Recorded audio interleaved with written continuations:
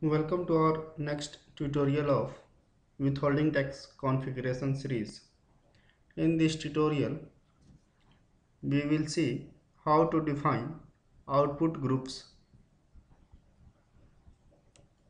Enter transaction code SPRO in SAP command box, then press enter.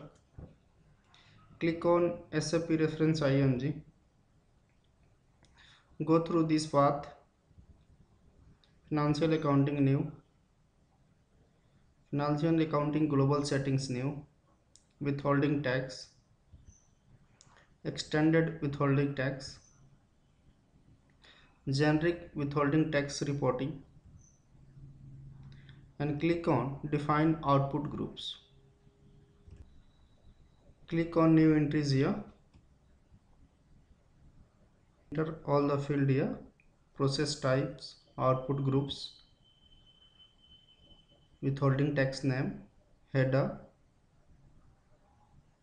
Check this box include open items.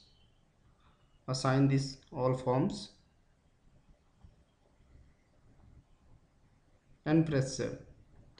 Go through this document to define output groups in withholding tax enter transaction code SPRO in SAP command box then press enter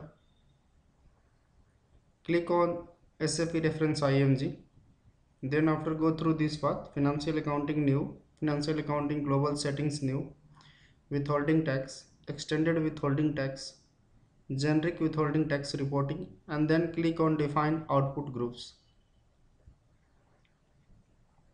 Click here to define output groups.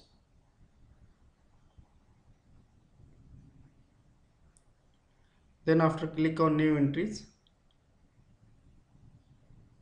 enter all the data and press save. If you want to know more about this tutorial, please check our description box. Thank you for watching this tutorial. Please subscribe our channel on YouTube.